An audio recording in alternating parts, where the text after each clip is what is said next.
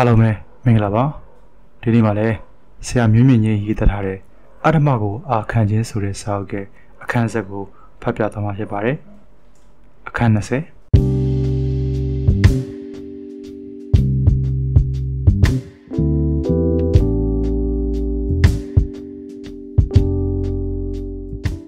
ပုံစံအရေးပေါ်ပုံစံထိုင်ထားထိုင်ထားကျဲလောင်စွာအော်ဟစ်တဲ့နဲ့တူ ဒုတ်ချောင်းတစ်ချောင်းဖြင့်ထောင်ဘူးဝအဝင်မှစပွဲလုံးကိုအသက်လွတ်ရိုက်နေသည်ကိုတွေ့ရသည်အရေးပေါ်ပုံစံအရေးပေါ်ပုံစံအရေးပေါ်ပုံစံဟုအော်နေသည် ထောင်ထဲနေလာသည်မှာကြာပြီအရေးပေါ်ပုံစံဖြစ်မကြုံဘူးထောင်ရောက်ခါစားကတစ်ချိန်ပြပေးသည်ကိုလိုက်ပါလှုပ်ဆောင်မှုသည်သို့တော့တခါမှမကြုံဘူးတာရီထောင်ရောက်မှအရေးပေါ်နဲ့ကြုံရသည်ရောက်သည့်နေရာမှာစောင့်ကြောက်ထိုင်လက်ပိုက်ပြီးလက်ပေါ် ခေါင်းငုပ်တင်ထားရသည့်အနေအထားဖြစ်သည်ကိုလိုနီခေတ်မြန်မာလူမျိုးတို့ကိုနှိပ်ကွပ်ခဲ့သည့်စနစ်သည်လွတ်လပ်ရေးရပြီးယနေ့ခေတ်တိုင်းအချင်းထောင်များတွင်ကျင့်သုံးနေဆဲဖြစ်သည်အချင်းတော်လက်ဆွဲဥပဒေမှာလည်းယနေ့တိုင်းနေချက်ခေတ်ကလက်ဆွဲဥပဒေပင်ဖြစ်သည်ကိုလိုနီနယ်ချဲတို့ကမြန်မာတွေခေါင်းဖော်ဝအောင်စီမံခဲ့သောကျင့်စဉ်ဖြစ်သည်မြန်မာအာဏာပိုင်တို့သည်နေချဲတို့ကျင့်သုံးခဲ့သောကျင့်စဉ်များကိုဆက်လက်ကျင့်သုံးရင်းမိမိကိုမိမိအရှင်သခင်များဖွယ် ထင်ရောင်မှတ်မှားနေစေဖြစ်သည်ထိုပုဂ္ဂိုလ်များသည်ဘဝတသက်တာမှာမြည်သည့်အချိန်ကမှခံစားခဲ့ရမှုချင်းမရှိသောစီးစိမ်များကိုအချင်းတောင်တွင်မှခံစား권ရရှိသည်လောက်ခံဘဝတွင်နေခဲ့စဉ်ကာလကအထက်အရာရှိကြီးများ၏လက်ပါစေများဖြင့်အရာရှိကြီးများလူရာဆန္ဒဖြည့်ဆည်းပေးခဲ့ရသည်များသူတို့အလှဲ့တွင်ထိုအထက်အရာကြီးကြီးများအားပံ့ပိုးပေးခဲ့ရသည့်ညီတူအကျဉ်းသားများကအဆိုပါထောင်မှုထောင်ပိုင်တို့ကိုဖြည့်ဆည်းပေးကြရသည် အကျဉ်းသားများမှလည်းအယောအစားရှိကြရသည်သို့မဟုတ်ပါကမပြန်လန်းဖြစ်သည့်ရဲဘက်စကန်ကြောက်ထုစကန်လမ်းဖောက်လုပ်ရေးစကန်များတွင် မခံနိုင်ကြသည့်အစုံမိမိကိုမိမိအဆုံးစီရင်ကြသည့်ဖြစ်စဉ်များမှာအကျဉ်းထောင်များအတွင်းမဆုံးနိုင်သောအိယာဝင်ပုံပြင်များဖြစ်ကြသည်အကျဉ်းသားမှမဟုတ်ဝန်ထမ်းများမှလည်းအထက်အရာရှိကိုရှာဖွေကျွေးမွေးရသည်စာပြီးနားမလည်ဆိုသောစကားမှာအကျဉ်းထောင်တွင်ကလာသောအတုံးနှုံဖြစ်သည်ပညာတတ်စရာမလို တိတက်ဖို့သာလိုသည်ဟုလည်းဆိုကြသည်အယောအစားမရှိဘက်ကနေစကမ်းများသို့ပို့ဆောင်ခြင်းခံရပြီးနောက်ဆုံးတွင်အကျဉ်းသားများ၏အာခံမှုအောက်ဝဲပေါက်တူးဖြင့်ခုတ်ဖြတ်အသက်ခံရခြင်းတို့မှာလည်းအကျဉ်းဦးစီးဌာနဝန်ထမ်းများအဖို့အထက်အရာရှိကိုအာခံရန်မဝင်ရဲသည့်တာရကများဖြစ်ပေသည်နှစ်ယောက်တည်းစနစ်တကျပင်တန်းစီထိုင်နေကြရသည်အမျိုးသမီးနိုင်ငံ၏အချင်းသူများကိုတီးခြားခေါ်ထုတ်သွားသည်တရားဝီထောင်သည်ထောင်ဝင်ကြီးပေးရသည်ဟုနာမည်ကျော်ကြားပါသည် ထောင်ဝင်ကြီးဆိုဒီမှာပတ်စံမဟုတ်ပါဝင်လာသမျှအချင်းသားကိုအပြစ်ရှာပြီးရိုက်နှက်ခြင်းဖြစ်ပါသည်အမျိုးသမီးများကိုခေါ်ထုတ်သွားပြီးဖြစ်သည်ဖြင့်အချိန်မရွေးရိုက်နှက်နိုင်သည်ကိုတတိပြုမိသည်ထောင်မှုတကားဝါအတွင်ဖြည့်၍ထွက်ပေါက်ပြေးပေါက်မရှိမမိမှာနောက်ဆုံးတန်းတွင်ဖြစ်၍ထောင်တကားအဝတွင်ရှိသည်ဘူးတကားအဝတွင်ရှိနေသည်ပုံစံခေါ်ပြန်သည်မတရက်ခိုင်သည်အထုပ်ဘိုးတွင်နှင့်မလွယ်ပေါက်မှတယောက်ချင်းခေါင်းငုံ၍ထောင်ဝင်းအတွင်းသို့ဝင်ရသည်ပြဿနာမှာထိုနေရာမှာပင်စပါသည် အချင်းသားများလက်ဝဲတရားဝင်ခွင့်ပြုချက်ဖြင့်ပါရှိလာသောပစ္စည်းများကိုဝန်ထမ်းများကမထင်လျင်မထင်သလိုဆွဲယူကင်ပေါလွှင့်ပစ်ပြုလုပ်နေသည်ကိုလမ်းမြင်နေရသည် အချို့ပြန်ပြောအချို့ရှင်းပြအချို့အစဉ်ပြေအချို့အစဉ်မပြေမြင်နေရသည်ရိုက်နှက်ခြင်းမရှိသည်ကိုလည်းတတိထားမိသည်နောက်ဆုံးကြံသူနှစ်ယောက်မှာကိုစင်လိုင်းနှင့်မိမိဖြစ်သည်ကိုစင်လိုင်းပစ္စည်းများစီစစ်သည်ဘာပြဿနာမှမရှိမိမိလက်တွင်မူမုတ်ဆက်ရည်ဓာ နေ့စဉ်တောက်သုံးနေသော TB ယောဂဆေးများအာဆေးများအဆရှိသဖြင့်စုံလင်လာသည်တာဝန်ကျပုဂ္ဂိုလ်မှာဆေးများကိုတွေ့ပြီးတင်ဆဲသည်မိမိက TB ဆေးဖြစ်ကြောင်းနေ့စဉ်တောက်ရသည်ဖြစ်ကြောင်းရှင်းပြတော်လဲမရဆေးရုံသို့အဲ့ရမည်ဖြစ်ကြောင်းပြောပြီးတင်ဆဲလိုက်သည်မိမိမှာ TB ဆေးနေ့စဉ်အချိန်မှန်တောက်နေရသူဖြစ်သည်ဖြင့်ဆေးပြည့်၍မရသို့သောထိုပုဂ္ဂိုလ်မှာကျမ်းမာရေးဘူးဒတာလည်းရှိပုံပေါ့သိမ်းဆေးရမိတာပြောဆိုကယူလိုက်သည်မိမိဟာ အတော်ပင်စိတ်အနှောက်အယှက်ဖြစ်ရသည်ဆရာဆရာဒီမှာဇိမ်ခံပစ္စည်းတွေထိုပုဂ္ဂိုလ်ကမလန့်မကန့်ရှိအိန္ဒိယနယ်ဝါထောင်မူကြီးကိုလှမ်း၍တရင်ပို့သည်မိမိမှာလည်းထိုဇိမ်ခံပစ္စည်းဆို၍ဘာများလဲဟုစိုးရင်စွာကြည့်မိသည်အင်းစင်ထောင်ရောက်ခါစားကမိမိနဲ့ကိုမင်းလူမှာလေမှုတ်ကောင်းအဖြစ်အိတ်ဒီကိုဇိမ်ခံပစ္စည်းများသုံးဆွဲခွင့်မပြုဟုဆိုကာအဆိုပါခေါင်းအုံးနှလုံးကိုဓားဖြင့်ခုတ်ခွဲဖျက်ဆီးခဲ့သည်ကိုကြုံမှုပြီးဖြစ်သည်အခုလည်း ဇိမ်ခံပစ္စည်းဆို၍ဘာများပါလဲဟုကြည့်မိသည်ထိုဝန်ထမ်းလက်ထဲတွင် Mother Choice ထောပတ်ဘူးကင်ထားသည်ကိုတွေ့ရသည်ဘာလဲအဲ့ဒါထောင်မှုကြီးကမေးသည်သူလဲစားဘူးပုံမပေါ့မဂျရင်ထော့ပတ်ပါထောင်မှုကြီးကထော့ပတ်ဘူးဖွင့်၍အနံ့ခံကြည့်သည်ဘာလို့ရမှန်းမသိတွေ့ဝေနေပုံရသည်ထောင်မှုကြီးလည်းထော့ပတ်စားနေကြဖြစ်မှာပါဒါစိန်ခံပစ္စည်းမဟုတ်ပါဘူးပေါင်မုတ်တော့ဘစ်စကုတ်နဲ့စားတာပါထောင်ကတရားဝင်ခွင့်ပြုချက်နဲ့တွင်းထားတာပါ အိန္ဒိယနွယ်ဘထောင်မှုကြီးကတွေ့ဝေနေသည် သူလဲကြိုက်ပုံရသည် သူကြိုက်သည်ဖြစ်၍ခွင့်ပြုချက်မရဘဲသူကြိုက်သည်ဖြစ်၍ယူခွင့်မပြုဘဲသူ့ရဲ့ထဲထက်သွားမှမိမိကပူပန်နေသည်ကိုစင်နိုင်ကမလန့်မကတ်မှရရင်ထောဘက်ဘူးကိုနှမျောတတ်တာစွာကြည့်နေရှာသည်ဟွန်းယူသွားပါဒါပေမဲ့နောက်ထပ်ဓာမျိုးတွေတွင်းခွင့်မရှိဘူး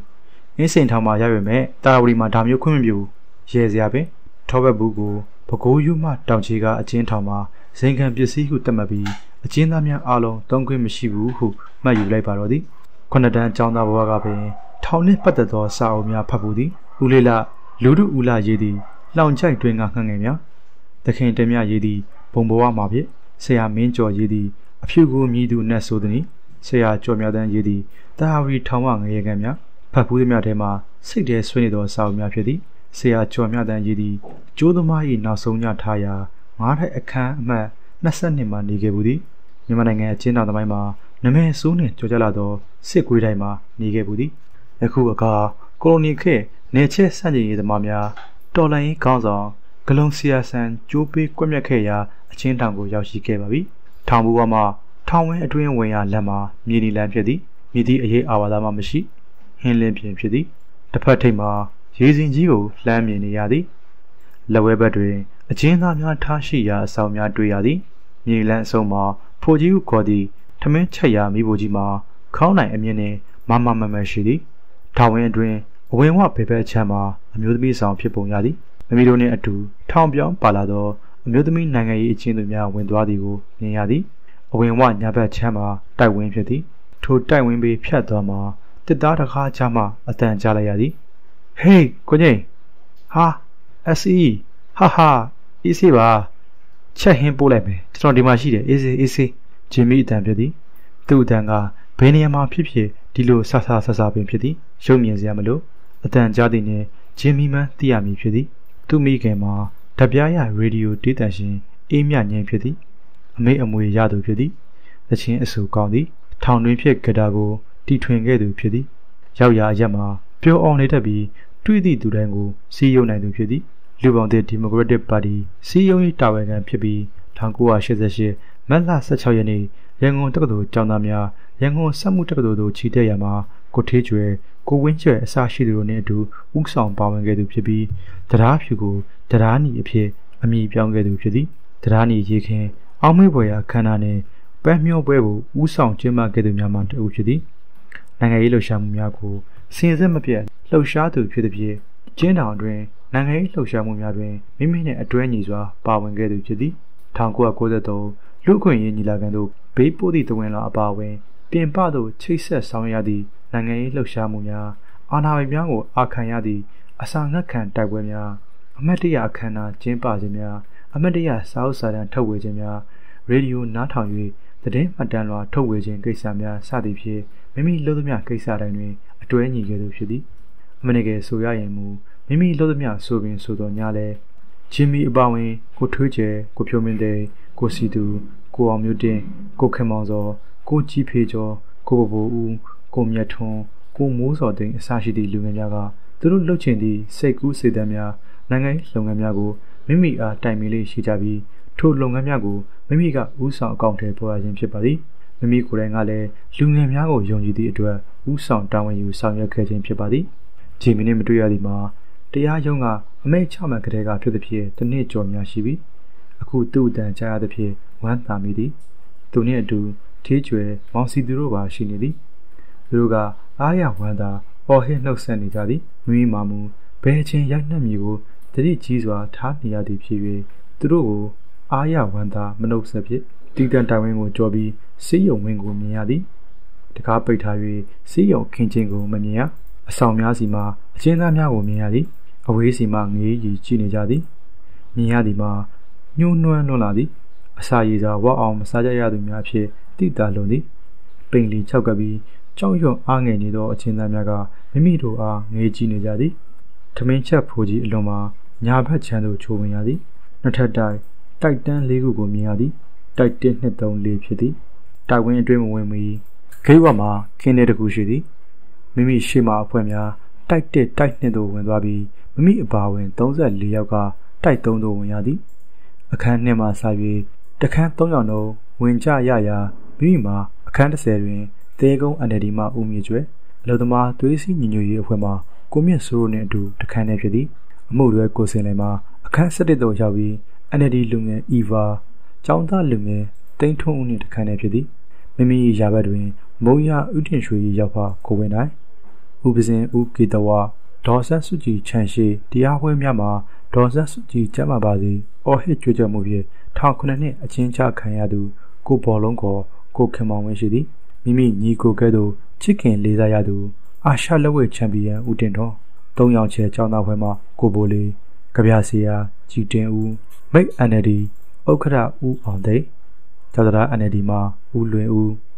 ချင်းမနိုင် NLD မှာဦးကျော်တန်းဒီဒီရဲ့လွတ်တော်ကိုယ်စားလှယ်ဒေါက်တာမျိုးညွတ် ဒီဒီရဲ့လွတ်တော်ကိုယ်စားလှယ်ဦးထေတတော်ဝန်ထောင်ဦးအောင်တန်း CNF မှာကိုပိုနီ BBC တို့သတင်းပို့လို့ရှိသူမင်္ဂလာတုံမြို့မှာလီတက်တက်ကြကြီးဟောင်းမစ္စတာဂျော့ချ်ဟာသာတီယိုဆောင်ချစ်မလွယ်မုံခွတ်အင်းဆိုင်အနေဒီမှာကိုဝါတုတ်ကျောင်းသားသမဂ္ဂမှာကိုဘိုကြီးကိုဟန်ဝင်းအောင်ရှေ့နေရောဘတ်ဆန်အောင်ကိုကျော်ထွေးကိုညွတ်မောင်ရွှေတန်းစင်တီးဝဲမှာဒရမာကိုဝင်းတင်စာပေလောကမှာကိုဇောရုခေါ် ကိုတင်ထွန်းကျောင်းသားလူငယ်ကိုမြင့်ကိုကိုတို့ရှိကြပါသည်တိုက်ဖွဲ့စီပေါ်မှာစနခန်းတွဲနှစ်ထပ်တိုက်ဖြစ်သည်သို့သောအပေါ်တော်တက်ရောက်ခွင့်မပြုလေကားရင်တွင်ဝင်းထရံဖြင့်အသေးပိတ်ထားသည်လျှက်စစ်မီမရှိကော်ရီဒါတစ်ခုလုံးတွင်90ဝက်မီလနှလုံးသာရှိသည်အခန်းများထဲတွင်မီမရှိထောင်ဝင်းတစ်ခုလုံးအတွက်လျှက်စစ်ဓာတ်အားလိုင်းကျိုးများရှိတော့လဲလျှက်စစ်ပုံမှန်မရရှိသည့်အတွက်မီးစက်ဖြစ်လဲပဲသည်ငင်းချင်းဆိုင်တိုက်မှာပုံစံတူဖြစ်သည်ဤတိုက်ဝင်းတွင်ရှိ တိုက်လေးလုံးစလုံးသည်ပုံစံတူတိုက်များဖြစ်သည်မျက်နှာချင်းဆိုင်လေးတိုက်တွင်ဘဝပြည်ကွန်မြူနစ်ပါတီမှကဘာစီယာငိမ့်စီခေါ်ကိုအွန်လိုင်းအမှုတွေများဖြစ်သည်ကဗျာဆရာငိမ့်စီနှင့်အတူနာမည်ကျော်မိုးကျိုးမှုန်တိုင်းကြပြဆရာများဖြစ်ကြသည့်ဆေးရမောင်သွေးခိုင်ဆေးရအောင်စင်မင်းဆေးရတင်ဦးငိမ့်တို့အတူရှိကြပြီးလူပေါင်းတဲ့ကျောင်းသားများဒီမိုကရက်တစ်မှာကိုငွေလင်းကိုငင်းချမ်းရန်ကုန်စက်မှုတက္ကသိုလ်မှာကိုစွမြင့်အောင်ဂီးကိုခေါ်ကြော်ကြော်စု NLD လူငယ်များဖြစ်သည့်ဒီဇိုင်းပကြီးတင်မောင်ကြီး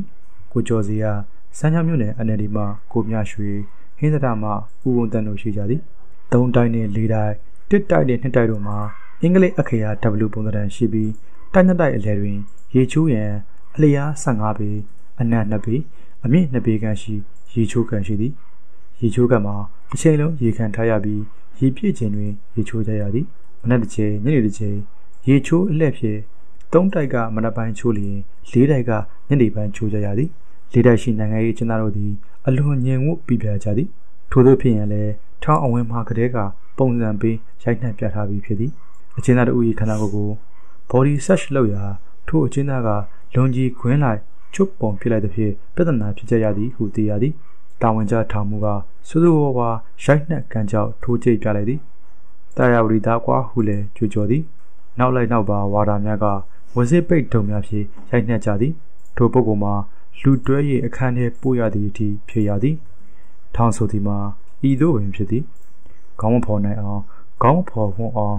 ရိုက်နှက်ညှဉ်းပန်းပြီးလိုရာပုံသွင်းလိုက်ကြသည် ပုံစံပေးသည်ဟုခေါ်သည်မိမိတို့အုပ်စုမှမူယခုအချိန်ထိလက်ဖျားနှင့်အထိမခံရသေးပါသို့သောထောင်ကထောင်ပင်ဖြစ်ပါသည်နှိတ်ကုလို့ရသည်များနီးနှင့်နှိတ်ကွန်မီဖြစ်သည်အချင်းထောင်ရောက်ပြီး တလနီးပါးကြာသည့်အထိတန်ချေခြင်းဖြုတ်ဝင်ပေးပါတန်ချေခြင်းခတ်ခြင်းသည်ထောင်ပြောင်းခြင်းတွင်လုံခြုံရေးအရာခြေချင်းခတ်ခြင်းဖြစ်သည်ထိုလုံခြုံရေးအစီအစဉ်ကိုသဘောမတူတော့လဲလိုက်နာကျင့်သုံးပေသည်သို့သောလုံခြုံရေးအကြောင်းပြချက်ဖြင့်အချင်းထောင်ရောက်ပြီးရက်တရပတ်၃ပတ်ခန့်ကြာမြင့်သည့်အထိခြေချင်းဖြုတ်မပေးပါလေးတိုက်မှပုံကုန်များကမူထောင်ပန်တန်းစီတွင် ထောင်ပန်အားတင်ပြခြင်းမပြုရန်အကြံပြုကြသည်သူတို့ထောင်ပြောင်းစဉ်က ဤသို့ထောင်ပိုင်သို့တင်ပြသဖြင့်6လကြာသည့်အထိခြေချင်းဖြုတ်မပေးကြောင်းသိရသည်ထောင်ပိုင်မှာဥဝင်းမြင့်ဖြစ်သည်တမဝါယမဦးရထနာမှာမြည်သူမြည်ဖို့ထောင်ပိုင်ဖြစ်လာသည်မသိမိုးကြရွှေကိုဖြစ်သည်လက်တံပြောင်းသည်တမဝါယမကလာသူမို့စိရင်စရာနိုင်လာသည်အချင်းသားများစားသုံးရန်လုံတိဆန်ကိုရေနက်ကွင်းစပါးဖြစ်သည့်ဆန်လုံးညွန်ဖြင့်လဲရည်ကျွေသည်အချင်းတောင်လက်ဆွဲဥပဒေအရတပတ်တစ်ခါအသားကျွေးရမည်ဝတ်သားအမဲသားမကျွေးပဲ ငါးရေလုံးပြုတ်ငရုတ်စီဆန်၍ကျွေးသည်အဆောင်များတွင်အကျဉ်းသားများအားထမင်းကျွေးရမှာတမန်တလင်းတွင်ထမင်းပုံရင်ကျွေးသည်ထမင်းကိုပုံစံဖြင့်ကျွေးသည်မြည်သူကမျှအာခံမပြောဝအောင်တရားဝတီလူမိုက်အချင်းသားများကအုပ်ချုပ်ကြသည်အစာဝါအောင်မစားရရေလွန်လောက်အောင်မချိုးရငပိကိုတာအပြည့်မရဆက်ပြားပုံမမရတခါတရံခေါင်းလေးရန်အုံးစီပြတဲ့သည်လက်ဝါးဖြန့်ခံပြီးကို့ကောင်းကိုလင်းရသည်ဤဒီကတော့အင်းစိန်ချင်းတောင်နေမတူ အင်းစိန်ထောင်တွင်ခုနှစ်နှစ်နီးပါးနေခဲ့ရတော့လေလင်းရန်အုံးစီပေးသည်ကိုမကြခဲ့ဘူးထိုးသည်ဆိုရမည်ပိုရထိုးသည်မှာတာဝရီအချင်းတောင်တွင်နနက်တိုင်းစံပြုတ်ကျွေသည်စံပြုတ်ဖြူဖြူကိုစားခိုက်၍စားရသည်မှာထောင်မှမူနတ်တုတ်တာဖြစ်သည်အချင်းတော်လက်ဆွဲဥပဒေအရအချင်းသားတို့အတွက်ဒီနေ့လေရင်စံ14အောင်စားတတ်မှတ်သည်ထို14အောင်စားမှာ2အောင်စားမှာစံပြုတ်အတွက်ဖြစ်ပြီးစနံအောင်စားမှာနနက်ညထမင်းအတွက်ဖြစ်သည်အင်းစိန်ထောင်အာနာပိုင်များသည် အချင်းသားတထောင်ကျော်အတွက်စံပြုတ်တိုက်သည့်အောင်စားကိုနေ့စဉ်ဖြစ်တောက်ခဲ့သည်မိမိနေခဲ့သည့်တခြားတစ်ချိန်တစ်ခါမှစံပြုတ်စားခဲ့ရခြင်းမရှိတကယ်လို့ကြားလဲမကြဘူးပါအာနာပိုင်တို့နေ့စဉ်အလွဲသုံးစားခဲ့ကြခြင်းဖြစ်သည်တာယာဝရီထောင်ဤနောက်ထပ်ထူးခြားမှုတစ်ခုမှာအပတ်စဉ်ကြာသပတေးနေ့တိုင်းလက်ပတ်6ခတ်ထားသောရေနွေးချမ်းဝင်ငါခြင်းဖြစ်သည်အဆောင်နေကျင်းသားများမှာအများအားဖြင့်ကျေးလက်တောင်သူများဖြစ်သဖြင့်ရိုးသားကြသည်စင်းရဲတွင်ပါကြသည် ရေနွေးချမ်းဝင်ငါလျင်အလွတ်ရပ်ပင်အရာယူကြသည်အကျဉ်းသားများစုမှာရာဇဝတ်ပြစ်မှုများဖြစ်ပြီးတရားရုံးများတွင်အယောအစားမလုံနိုင်သဖြင့်အချင်းကြရခြင်းဖြစ်သည်သူတို့ကိုအုပ်ချုပ်သောအခန်းလူကြီးဘာရာတန်စီဘုတ်ကင်ဆိုသူများမှမူလူဆိုးလူမိုက်ကြီးများဖြစ်ကြသည်တရားနှင့်တရားရွာလုံးကျော်ခုတ်ကြတက်ကြသည့်မှုမျိုးဆွေမျိုးညီကိုမောင်နှမများအချင်းချင်းလယ်မြေခွဲမှုမှာဓာကုတ်စင်းရင်ရှင်းမှုအစသည့်အမှုများဖြင့် နှိရှေလာများထောင်ကျနေသည်များဖြစ်သည်ထိုလူဆိုးတွေပိုင်းများကအဆောင်နှင့်ကျင်းသားများကိုအုပ်ချုပ်ကြသည်နိုင်ငံရေးကျင်းသားများကိုမူထိုလူမိုက်ချင်းများနှင့်ဆက်ဆက်မှုမရှိသေးပဲဆက်ဆံရေးကောင်းမွန်သောနှစ်ကြီးကျင်းသားများကိုဘာယာဖြင့်တာဝန်ချထားသည်ဘာယာဆိုဒီမှာည9နာရီအိတ်ချိန်ပေးချိန်မှစ၍အဆောင်အမှတ်အခန်းအမှတ်ရှိအကျဉ်းသားမိများမိရွေရှိကြောင်းအားလုံးကောင်းကြောင်း15မိနစ်တစ်ချိန်អော်ရခြင်းဖြစ်သည်မိမိတို့တိုင်ဝန်းများတွင်တာဝန်ကျဘာယာများမှာ ထိုသို့အော်ရခြင်းမရှိမိမိတို့ရှိရှိကနိုင်ငံ၏အခြေအနေများကထိုသို့15မိနစ်တစ်ချိန်အော်နေခြင်းကိုကန့်ကွက်ကြသဖြင့်ထိုသို့15မိနစ်တစ်ချိန်အော်ရခြင်းမရှိတော့ကြောင်းသိရသည်မိမိရှိရာ၃တိုက်နှင့်၄တိုက်တွင်တာဝန်ကျဘာရမှာကိုတန်းလွင်ဖြစ်သည်ညီကို၄ယောက်စလုံးထောင်နှံတစ်သက်ချမှတ်ခံထားရသူများဖြစ်သည်ညီကို၄ယောက်စလုံးအခြေခံပညာတတ်များဖြစ်သည်ဆက်ဆံရေးကောင်းမွန်သည် NLD ထောက်ခံသူများဖြစ်သည်တာဝရီအနီးဝင့်ကျင်ရွာမှဖြစ်သည် လဲလန်းကြောင်လူရတွင်နှစ်ဖက်ရွာဓာကြီးပြတ်ရရမှအပြတ်ရှင်းကြပြီးထောင်တစ်သက်ကြာခံရသူများဖြစ်သည်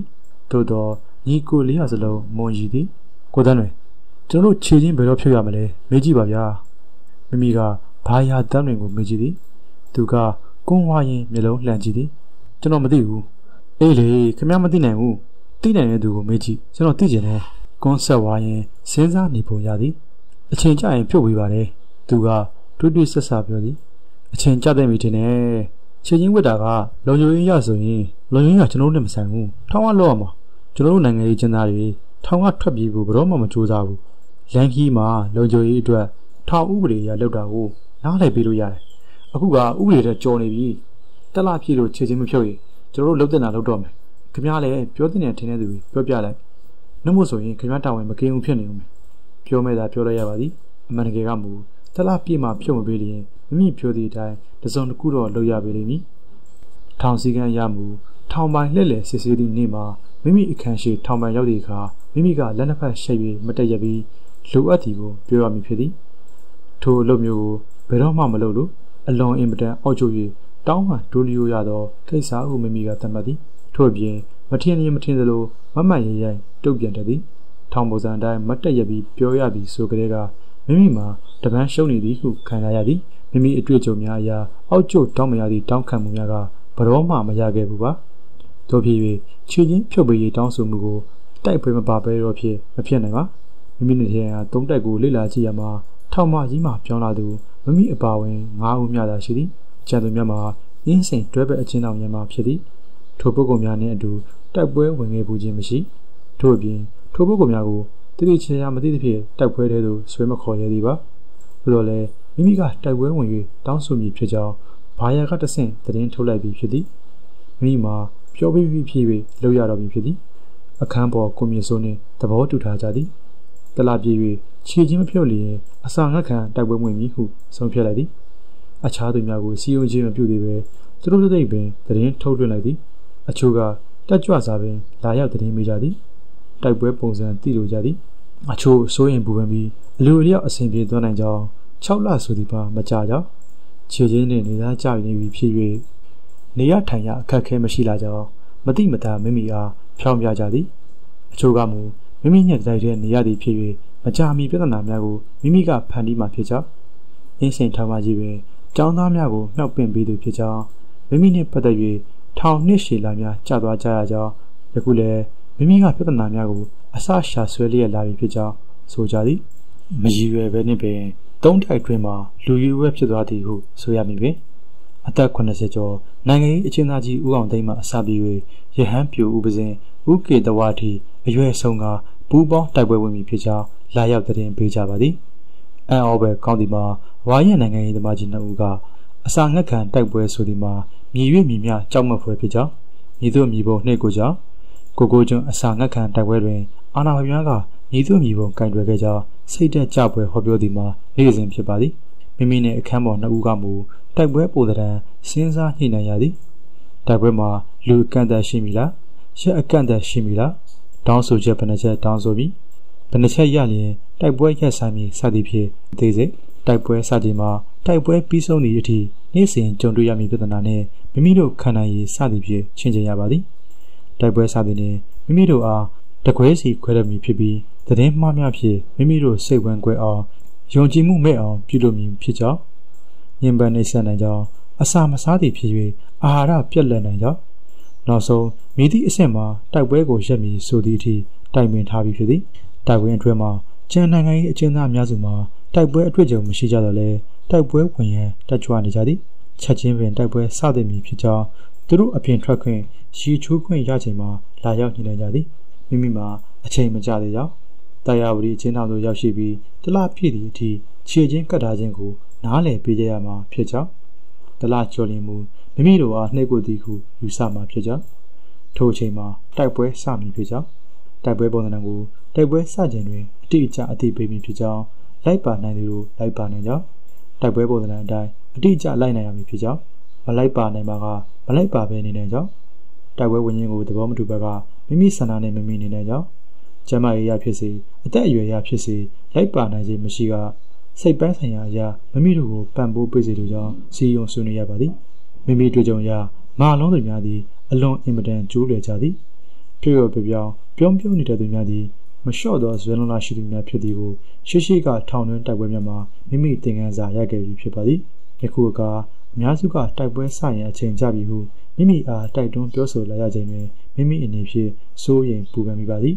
တရားဝတီထောင်သည်ရိုက်နှက်ညှဉ်းပန်းနှိပ်စက်ရာတွင်နာမည်ကြီးသည်အာဏာပိုင်များကိုစိန်ခေါ်ရမည့်ယခုတိုက်ပွဲသည်အကျဉ်းထောင်တိုက်ပွဲများတွင်အဆင့်အမြင့်ဆုံးဖြစ်သည့်အစာငတ်ခံတိုက်ပွဲဝင်ခြင်းဖြစ်သည်တိုက်ပွဲဝင်မည်ဟုဆုံးဖြတ်ပြီးပါကအကျဉ်းထောင်တာဝန်ခံထောင်ပန်ကြီးတံအစာငတ်ခံတိုက်ပွဲဝင်ဖြစ်ကြောင်းတိုက်ပွဲဝင်သူတိုင်းကတိုက်ပွဲဝင်ထောင်ပုံစံဆရာတင်လက်မှတ်ရေးထိုးကြေညာမည်ဖြစ်ပါသည် မိမိတို့တောင်းဆိုမှုများကိုထုတ်ပြန်နေရမည်ဖြစ်ပါသည်ထိုအချိန်မျိုးတွင်မိမိတို့အားလုံးအခြေအနေမျိုးမျိုးနှင့်တွေ့နိုင်ပါသည်ဥဆောင်သူကိုခေါ်ထုတ်ပြီးညှိနှိုင်းမည်သို့မဟုတ်ရိုက်နှက်ညင်မယ်မည်တိုက်ပွဲဝင်သူများအားလုံးကိုတကွဲတပြားစီခွဲခြားချုံတော်မည်ရိုက်နှက်မည်ကိုခံအားကြဆင်အောင်နေပူတဲ့လမ်းလျှောက်ခံမည်ထိုင်ထလောက်ခံမည်နီးလန်းပေါင်းစုံဖြင့်ညှဉ်းပန်းကြမည်ဖြစ်သည်ထောင်ပိုင်းနေဖြင့်ပရမထမဲတနက်မစားခြင်းတွင်အချင်းသားများအားဘာကြောင့်မစားကြောင်းမိမြင်ရမည်ဖြစ်သည် အချင်းသား၏ခွင့်ရေးချိုးဖောက်ခံရမှုကိုတောင်းဆိုပါကလိုက်ရောပေးရမည်ဖြစ်သည်အချင်းသားနှင့်အာဏာပိုင်တို့ညှိနှိုင်းရမည်ဖြစ်သည်ညှိနှိုင်းရမရလျင်အချင်းသားကညနေစာမစားဘဲဆက်လက်တိုက်ပွဲဝင်မည်ဖြစ်သည်အာဏာပိုင်ကဆက်လက်ညှိနှိုင်းရမည်ဖြစ်ပြီးမိမိတို့လုပ်ပေးနိုင်သမျှကိုအချင်းသားအားရှင်းလင်းပြောကြားရမည်ဖြစ်သည်ရိုက်နှက်ခြင်းညှဉ်းပန်းနှိပ်စက်ခြင်းမပြုရပါအကယ်၍အချင်းသားကနောက်တရက်မနက်စာမစားရင်အချင်းဦးစီးဌာနတိုင်းအရာရှိထံတည်င်းပို့ရမည်ဖြစ်သည် ဆက်လက်၍ညစာမစားပါကအချင်းဦးစီးဌာနဗဟိုသို့တည်င်းပို့ရမည်ဌာနဆိုင်ရာအစဉ်စဉ်ကတာဝန်ယူဖြည့်ရှင်းရမည်ဖြစ်သည်ဤဒီမှာမိမိသိရှိထားသော နားလည်ထားသောထောင်ဥပဒေဖြစ်သည်တကယ်ပင်ထိုသို့ပါရှိသည်မပါရှိသည်မိမိမသိပါသို့သောလက်ခံနိုင်ပွဲရာစီမင်းဖြစ်သည်အချင်းတော်တွင်အချင်းသားတို့အနေဖြင့်အချင်းကြလာခြင်းတွင် ထောင်မှန်ကြီး၏မေတ္တာရက်ခံချက်ကိုဖတ်ကြားပြောရတွင်အချင်းတော်ဟူသည်တက်ဆိုင်ရာတရားရုံးများက အပြစ်ရှိသည်ဟုဆုံးဖြတ်ပြီးပြစ်ဒဏ်သတ်မှတ်ကာအချင်းထောင်များသို့ပို့ဆောင်ခဲ့ခြင်းဖြစ်ပြီးအချင်းတော်များကထိုအပြစ်ရှိသည်ဟုသတ်မှတ်ခံရသူအားထိမ့်သိမ်းရာနေရာဖြစ်ကြောင်းအချင်းတော်သည်အချင်းသားများ၏နေရေးထိုင်ရေးစားရေးတောက်ရေးကျန်းမာရေးကိုတာဝန်ယူကြောင်းပြစ်ဒဏ်ကာလပြစ်ချိန်တွင် အချင်းတော်မှာပြက်လဲလွတ်မြောက်များဖြစ်ကြောင်းဤအချင်းတော်သည်လွန်ညွင်းကိုစနစ်တကျစီမံထားသည်ဖြစ်၍အချင်းတော်မှာထွက်ပြေးလွတ်မြောက်ရန်မကြိုးစားကြစေလိုကြောင်းဆိုပါသည် မိမိတို့မှာအဖြစ်ရှိသည်ကိုတရားရုံးကသတ်မှတ်၍အချင်းချခံရတွင်အလုတ်ကျန်းနှင့်ထောင်ဒဏ်ချမှတ်ထားခြင်းဖြစ်ပါသည်မိမိတို့အားခြေချင်းခတ်၍အချင်းချထားရန်တရားသူကြီးကဆုံးဖြတ်ထားခြင်းမရှိပါမိမိနေဖြင့်ထိုအချက်ကိုကင်ကခြေချင်းဖြုတ်ပေးရန်တောင်းဆိုမည်ဖြစ်ပါသည်ကြံသည့်အချင်းသားများကိုလည်းဤအချက်ကိုသာကင်ဆွဲတိုက်ပွဲဝင်ရမည်ဖြစ်ကြောင်းအခြားတောင်းဆိုမှုမပြုလုပ်စေလိုကြောင်းညဉ့်ညံ့စွာတိုက်ပွဲဝင်မည်ဖြစ်၍ဆူညံခြင်းအော်ဟစ်ခြင်းမပြုရန် ရိုက်နှက်နေနေပင်အော်ဟစ်ခြင်းဆူညံခြင်းကျွေးကြော်သံများအော်ဟစ်ခြင်းမပြုရန်တိုက်တွန်းထားရပါသည်မမရရ1990ဒီဇင်ဘာ15ရက်နေ့ဖြစ်ပါသည်နေ့လယ်ထမင်းစားပြီးချိန်ဖြစ်၍အခန်းအသီးသီးမှာအချင်းသားများလဲလျောင်းအိတ်ဆက်နေခြင်းဖြစ်ပါသည်တကယ်ချက်ဖွင့်တန်ကြားရသည်ဘယ်ခန်းကမှမသိရမျက်နှာချင်းဆိုင်တိုင်းမှာကိုတင်မောင်ကြီးကိုဂီးကိုကိုငိမ့်ချမ်းကျော်စီရမိုးစော်နိုင်တို့လည်းသူတို့အခန်းတကာမှနေ၍ မိမိတို့တိုက်ပွဲကိုစူးစမ်းကြည့်နေကြပါသည်ယခုလိုအချိန်မျိုးမှာတကားဖွင့်သည်မှာထူးခြားဖြစ်စဉ်တစ်ခုဖြစ်သည်နေကဲဆန်းနာရီမှနေ့လယ်နှစ်နာရီအထိတာဝန်ကျဝန်ထမ်းထံတွင်အခန်းတော်များရှိမနေဘဲထောင်ကျယုံတွင်သာ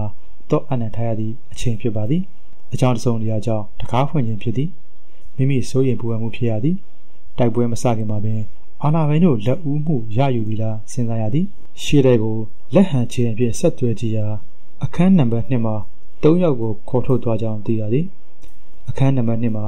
ရွှေတန်းစင်တီးဝဲမှကိုဝင်တင်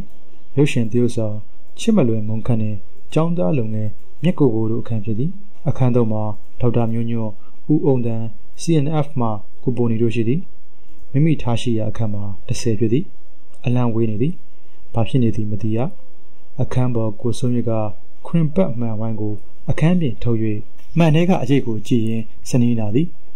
မရိတ်ထဲကိုကြည့်လိုက်ရာအခန်းတိုင်းလူလူကမှန်ထုတ်၍ကြည့်နေကြသည်ကိုမိမိကအံ့အားသင့်နေမိသည်မိမိမှာဒီတွေ့ကြုံမရှိတီးတန့်ထောင်တိုက်ခန်းမြတ်မှာစင်နေရွက်မရှိသဖြင့်မှန်ကားတဆင်ကြည့်ရရသည်မိမိတို့နေကြရအင်းစိန်ထောင်မကြီးတိုက်ခန်းမြတ်မှာတခန်းနဲ့တခန်းကြားစင်နေရွက်ဥနေရများကာယံထားသည်မို့ထို့သောမှန်ရက်ကိုတုံးပြ၍အခြေအနေသုံးသက်ခြင်းတွေ့ကြုံမရှိ မကြခင်မှာပင်အခန်းသုံးမှာဒေါက်တာမျိုးညွန့်ဦးအောင်တန်း ကိုပိုနီတို့ကိုခေါ်ထုတ်သွားပြန်သည်ဒီပုဂ္ဂိုလ်တွေမှာမိမိနှင့်အတူတိုက်ပွဲဝင်မည်ဟုသဘောတူထားသူဒေါက်တာမျိုးညွန့်ကိုပိုနီတို့ပါသည်နောက်တစ်ခါဆက်ဖွင့်ပြန်သည်မိမိအနေငယ်ဆိုရင်သည်အစာငတ်ခံတိုက်ပွဲဝင်မည်ကိုမလိုလားသောသူများပါလာသည်အချိန်တွေကိုမှန်အိမ်မှတဆင့်ကြည့်နေရသည်ဘာဖြစ်ဖြစ်ဘာလုပ်နေကြသည်ကိုခံမှန်းယူမရနိုင်ခဏအကြာမှာဘာကိုမှမမြင်ရခင်မှာပဲဟေးဟုတပြိုင်နက်အော်ဟစ်လိုက်တဲ့များကြားရသည်ကိုငင်းညံ့တို့ ကိုဂီကိုတို့ဘက်မှလက်သီးလက်မောင်းတန်း၍ "Okay okay ကောင်းကောင်း"ဟုအော်နေကြသည်။ကိုကြီး "Okay ပြီပွဲပြီပြီ"ကိုမြင့်စိုးကအားရပါရအတန်ကျဲစွာအော်၍ပြောနေသည်။မိမိကရုတ်တရက်နားမလဲ။သူ့လက်ထဲကမှန်ဝမ်းထဲကပုံရိပ်ကိုရှာကြည့်နေသည်။ဟိုမလေးအရှိချင်းချင်းချင်းပြုတ်သွားပြီ။တွေ့လား။ကိုဝင်းတယ်။ဟာဟာခြေချင်းပါပဲလမ်းမလျှောက်တတ်ဘူးဖြစ်နေတယ်။သူပြမှာမှန်ဝမ်းထဲမှာကိုဝင်းတင်ကိုမြင်ရသည်။ ခြေထောက်မြင်အောင်ပြသမှာမိမိကခြေချင်းမှလွတ်မြောက်သွားသောခြေထောက်ကိုမြင်လိုလာသည်ကိုဝင်းတင်မှာအရက်ရှည်လာသူဖြစ်၍သူ့ခြေထောက်မှန်ဝမ်းထဲဝင်အောင်ကိုမြင့်စိုးကချိန်နေရသည်ဟုတ်ပါသည်သူတို့အားလုံးခြေချင်းပြုတ်သွားပြီမိမိတို့အားလုံးခြေချင်းပြုတ်သွားသည်တိုက်ပွဲကမဆလိုက်ရမတိုက်ရမီကအောင်နှိပြီဘာကြောင့်ခြေချင်းကိုတလပြည့်သည့်နေ့မှာဖြုတ်ပေးလိုက်သည်ကိုမိမိမစောကြောတော့ပါတေကြသည်ကမိမိနဲ့အတူလက်တွဲတိုက်ပွဲဝင်နိုင်သည့် တိုက်ဖော်တိုက်ခတ်တိုက်ပွဲပျော်တို့အတူရှိနေသည်ဆိုသည်ပဲဆရာသမီးကြီးရဲ့အာထမကိုအာခံခြင်းဆိုတဲ့စာအုပ်ရဲ့အခန်းဆက်တွေကိုဖတ်ပြသွားတာဖြစ်ပါတယ်နောက်အခန်းထဲမှာဆက်လက်ဆုံတွေ့ပါအောင်မယ်